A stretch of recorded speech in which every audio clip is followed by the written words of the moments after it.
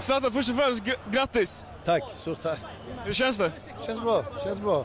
Fast man inte kunde medverka på plan, men, eh, men vi var här. Min, hur säger man, min spirit var här och, och allt det jag gjort för det med laget till, till, till trofén, så det, det kändes bra. Hur var det att följa den här matchen från sidan? Ah, grymt, mycket adrenalin. Man pushar, eh, det kändes som om man var med på plan. För detta, det är detta vi ville från början och det var det vi har kämpat för. Vad betyder den här titeln för dig då? Alla titlar är viktiga. Det är nummer 33, så det är ytterligare en titel. Så man ska samla så många titlar som helst. Den här säsongen vi fick tre utav fem, så mer än hälften och det känns bra. Det känns mycket bra ska jag säga.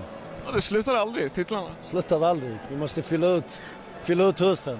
Men vi får skaffa fler hus. Hur var det då Den här Zlatan? var tung. Den här var tung den här trofén så vi får... Hyllan måste hålla. Hur mår du då annars?